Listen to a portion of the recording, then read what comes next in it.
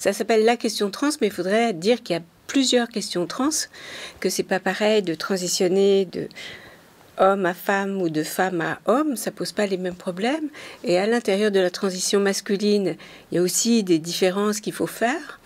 Euh, en particulier, si on prend euh, les hommes qui transitionnent vers les femmes, donc les femmes trans, vous avez maintenant euh, une part qui se dit lesbienne.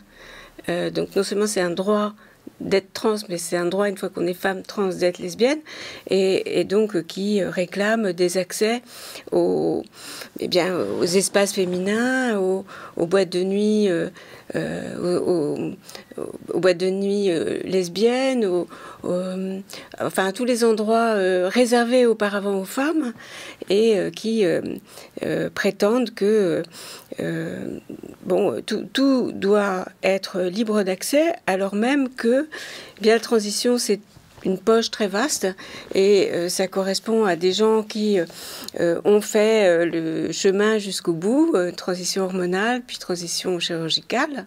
D'abord, transition des prénoms et des pronoms, transition sociale, puis hormonale et puis chirurgicale.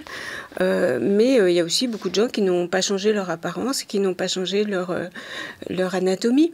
Donc, vous avez intrusion de personnes qui ont une anatomie masculine et qui se disent trans, euh, mais femmes trans tournées vers les femmes, bon, bref, ce sont des loups dans la bergerie. Alors, euh, euh, il y a des problèmes spécifiques qui se posent. je pense que les deux problèmes les plus massifs, c'est d'abord le problème des enfants et de la transition des enfants, des transitions précoces, qui sont éthiquement vraiment difficile à, accepter euh, pour les, familles aussi et pour euh, une partie du corps médical et puis euh, et puis l'invasion des espaces féminins. Donc vous voyez les femmes et les enfants sont je dirais pas les victimes, enfin, si sont les victimes de ce grand mouvement d'approbation de la transition auquel nous, nous assistons actuellement. C'est évidemment euh, quelque chose auquel on doit réfléchir quand on voit l'explosion des chiffres, parce que euh, je donne le chiffre d'une augmentation de 400%, mais pour les femmes, on parle de 1000% dans les 4 ans, dans les 5 ans qui vont jusqu'à 2018 en Grande-Bretagne. Donc, bon, ce sont des, euh, des, chiffres considérables. alors, quelle est la part qui correspond à l'acceptation du phénomène et donc à des gens qui sont prêts à transitionner parce que maintenant c'est acceptable socialement ou des gens qui sont entraînés dans une euh, vogue, dans une mode mondiale, on a beaucoup de mal à le savoir. Euh, ce qu'on sait d'ores et déjà, c'est qu'il y a une part de détransitionnistes. Alors, on n'arrive pas à chiffrer parce que très souvent ils s'évaporent. En tout cas, ils retournent pas voir le chirurgien pour se plaindre. Ils se, s'en vont et qui sont souvent très rejetés, qui souffrent du rejet par euh, la communauté trans qui les avait accueillis et qui ensuite les traite de faux trans, d'hypocrites, de tout, ça qui les, repousse. Alors que, bon, euh, c'est une minorité, c'est sans doute une minorité, alors on parle de 5%, euh, les, activistes ne reconnaissent pas plus de 1%, euh, mais vous avez donc une minorité de la minorité, mais qui est dans une souffrance considérable parce que, bien évidemment, le retour au, sexe antérieur n'est pas, pas possible, il y a des mutilations, je veux dire, euh, une femme qui a eu une ablation, une double mastectomie, une, ablation des, deux seins, ben, elle ne pourra pas euh, allaiter. Une femme qui euh, a été très loin dans la prise de testostérone peut être devenue stérile. Donc, les, les détransitionnistes souffrent beaucoup de dommages irréversibles, pour reprendre le titre d'un livre d'Abigail Schreier. L'acceptation des personnes transgenres, ça dépend.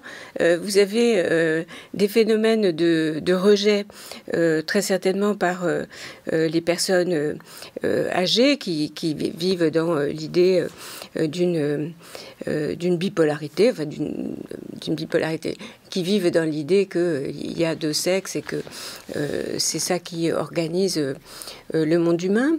alors qu'au contraire, dans les jeunes générations, vous avez plus que de l'acceptation. Vous avez un phénomène de mode.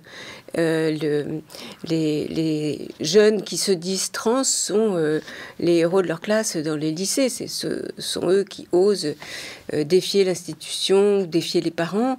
Donc, c'est difficile de parler d'acceptation sociale globale parce que c'est très différencié. Le pouvoir politique n'arrête pas de jouer des rôles. Euh, le pouvoir politique est en général en, recul devant euh, euh, les demandes des activistes. Et là, on vient de le voir. il y a une circulaire Blanquer adressée à tous les personnels de l'éducation nationale. Ça va du recteur jusqu'au surveillant général, enfin jusqu'à l'assistance scolaire. et cette circulaire est une circulaire pour l'acceptation pour que, euh, à condition que les parents soient d'accord, eh bien, euh, euh, tout le monde, les profs et les élèves, se plient aux nouveaux pronoms et aux nouveaux prénoms. Et d'autre part, l'Assemblée nationale a, voté la semaine dernière une, une, loi pour proscrire les thérapies.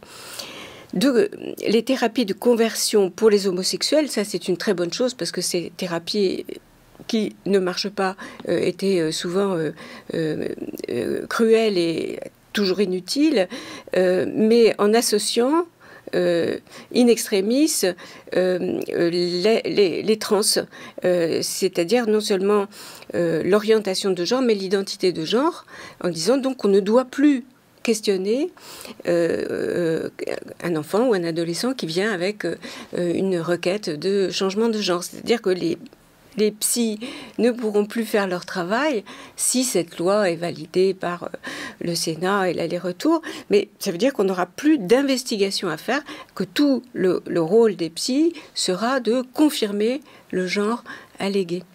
Il y a plein de questions parce qu'il y a euh, plusieurs transitions. Il n'y a pas euh, une transition, il y a une transition de fille vers garçon, d'homme vers euh, euh, femme, euh, elle, ne pose pas les mêmes problèmes.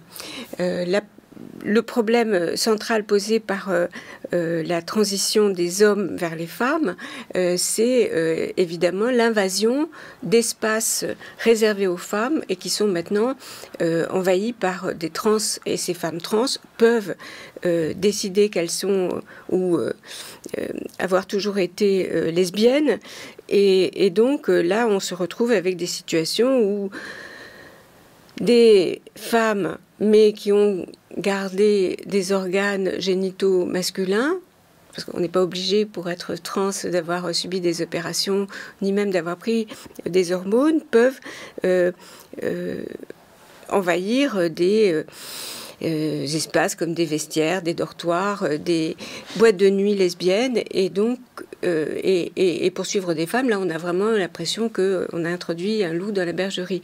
Euh, l'autre transition euh, de femme vers homme ne pose pas du tout les mêmes problèmes et c'est le phénomène qui est en expansion aujourd'hui.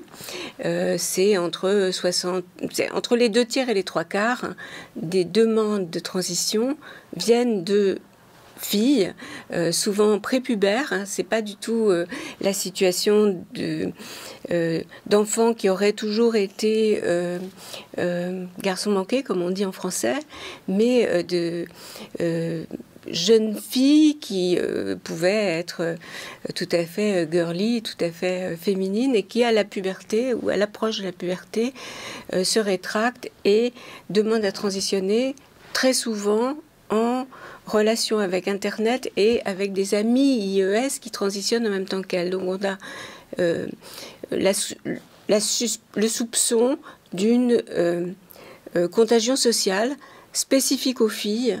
de même que vous avez dans l'histoire des contagions de ça peut être l'anorexie au XXe siècle, ça peut être euh, les possédés de Louvain euh, au XVIIe siècle, mais enfin des, filles qui, qui, se mettent ensemble dans un comportement qui déroute leur, entourage et qui peut être préjudiciable à leur bien-être ultérieur. Voilà. Donc pour, pour les filles, il y a ce problème spécifique et il y a une explosion des chiffres tout à fait considérable.